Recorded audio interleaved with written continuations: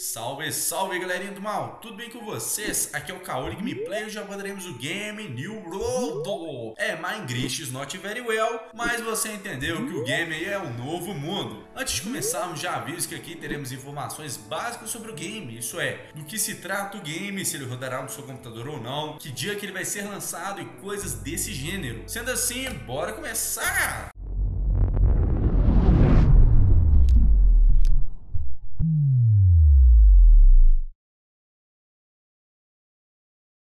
Pois bem, o Novo Mundo se trata de um game no estilo MMO, ou seja, com várias pessoas online se aventurando na ilha misteriosa de A Eterno. Em linhas gerais, a sua função game é explorar a ilha e obter os melhores recursos para si. Mas tome muito cuidado, já que o game tem uma proposta mais PVP do que PVE. O game nos apresenta um estilo de game parecido com um RPG, mas sem aquela característica padrão de todo RPG, que seriam as classes. Em outras palavras, você poderá usar aquilo que tiver à sua disposição para enfrentar os monstros em seu caminho caminho. Pode ser que você comece usando um machadão aí cabuloso, mas aí de repente você descobre que você se sai melhor com a mecânica do arco e flecha. Então você pode simplesmente trocar a sua arma. Vale ressaltar que a proposta do jogo é a sobrevivência e não necessariamente PVE ou PVP. Digo isso porque uma das coisas mais importantes se ter em mente é que a coleta de materiais e a confecção de itens é mais importante do que enfrentar criaturas perigosas. Ao menos no início. Pense comigo, você está andando na ilha e começa a coletar minérios em seu caminho. Com esses minérios você consegue fazer uma arma, por exemplo, uma lança. Se porventura você encontrar uma outra pessoa no seu caminho, é mais fácil você sobreviver ao ataque dela do que ela sobreviver ao seu, não é mesmo? Então levem isso em consideração antes de sair atacando tudo que se mexe. Conforme vai progredindo na história, você poderá se aliar a uma das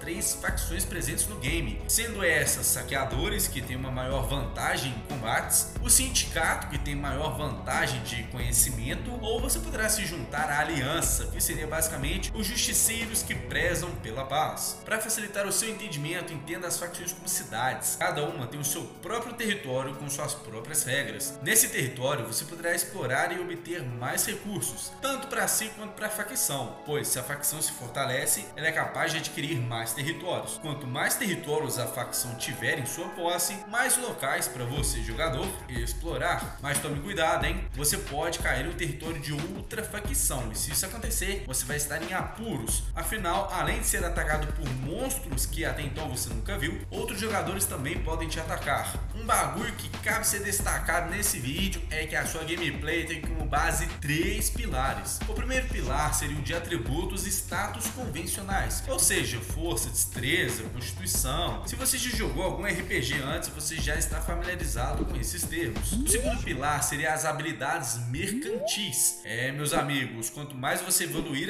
habilidades, mais fácil a sua vida se torna. Sendo essas divididas em três categorias: coleta, refino e confecção. Pelo que eu percebi, quanto mais você upar uma habilidade mercantil, menos recursos você gastará na próxima confecção e vai ser melhor o seu resultado final. Por exemplo, vamos supor que para fazer uma poção de HP, você precisa de coletar 3 gramas A. E essa poção aí que você fez vai recuperar 100 pontos de HP. Então, quando o seu nível de confecção de poções aumentar, você vai precisar de apenas 2 gramas A. E detalhe, ao invés de curar 100 pontos de HP, a mesma vai curar 110. O terceiro pilar seria a maestria em armas. Pelo que eu percebi, todas as armas podem ser dominadas e cada arma tem dois ramos de habilidades. Mas detalhe, ao escolher um ramo, o outro ficará inoperante. Se você chegou até esse ponto do vídeo é porque se interessou pelo game e deseja saber mais sobre ele, correto? Pois bem, a primeira curiosidade sobre o jogo é que ele está sendo desenvolvido pela Amazon Game Studios e será pay to play, ou seja,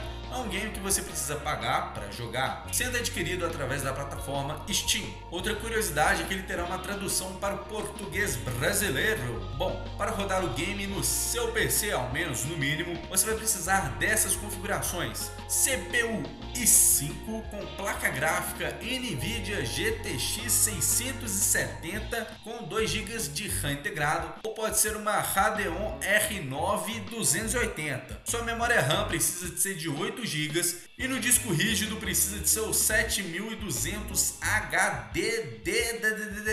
É isso aí, sistema operacional Windows 10, 64 bits com DirectX 12.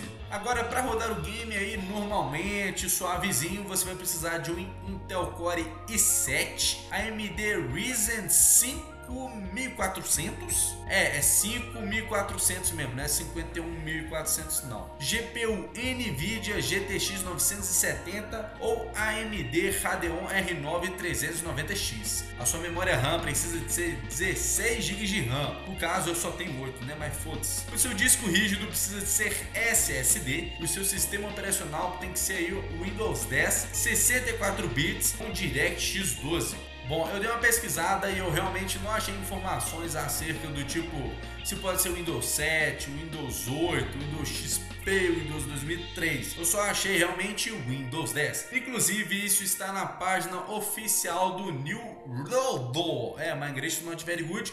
Já falei com vocês. Então, é isso aí. Eu espero que tenham gostado desse vídeo. Já deixa o seu like. E caso deseje mais informações sobre o game, deixe seu feedback nos comentários. Então, aquele abraço e nos vemos no meu próximo vídeo. Falou!